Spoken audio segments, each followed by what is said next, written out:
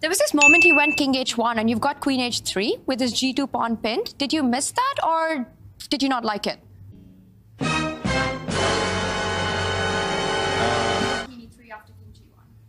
When was that? When he went king h1, your queen is on e3.